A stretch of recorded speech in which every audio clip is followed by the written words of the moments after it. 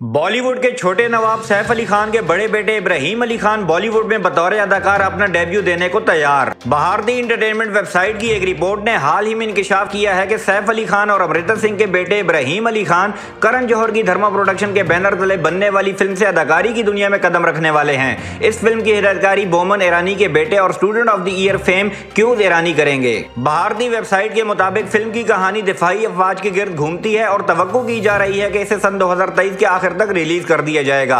याद रहे कि इब्राहिम अली खान, करण जौहर के आने वाली फ़िल्म रॉकी और रानी की प्रेम कहानी में बतौर असिस्टेंट डायरेक्टर काम कर रहे हैं, जिसमें रणवीर सिंह, आलिया भट्ट, धर्मेंद्र, जया बच्चन, शबाना आजमी और दीगर अदाकार अहम किरदार अदा करते नज़र आएँगे। तो दोस्तों, ये थी आज की न्यूज़ अपडेट।